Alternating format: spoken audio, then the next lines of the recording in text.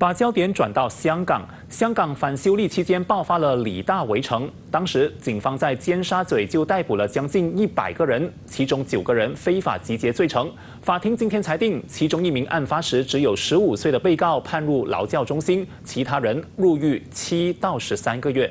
九名被告现在介于十九岁到三十一岁，其中两个人开审前认罪，另外七个人在审讯后罪名成立。虽然辩方强调集会只有十三分钟，但法官认为李大事件牵动了全港，陷入了很多天的混乱。被告当时明显选择留在现场，而他们的行为影响了公众秩序，也用污言秽语辱骂警员，暴力程度不算低。尽管如此，没有证据显示他们造成了任何的损失和破坏。加上从被捕日算起，已经整整四年，被告也已经改过自新，重犯的几率低，所以酌情减刑两个月。